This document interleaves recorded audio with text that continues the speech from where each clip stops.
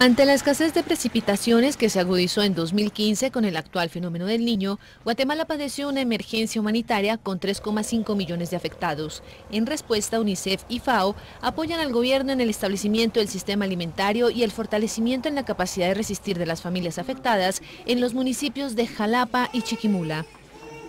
Gracias a los esfuerzos del año anterior consiguieron rebajar el número de niños con desnutrición en 867 casos, pero la problemática continúa, pues las mujeres gestantes o los recién nacidos carecen del estado nutricional adecuado, impidiendo que más adelante se desarrollen completamente, como advierte el médico Vinicio Osorio.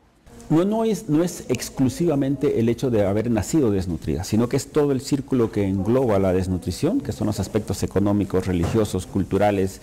disponibilidad de trabajo y en fin, todo esto. A base de tortillas de maíz, los niños apenas consumen entre 300 y 400 calorías, muy lejos de las 1290 que necesitan. Esto le aportan al niño una cantidad alta de carbohidratos, pero muy poca de lo que es proteína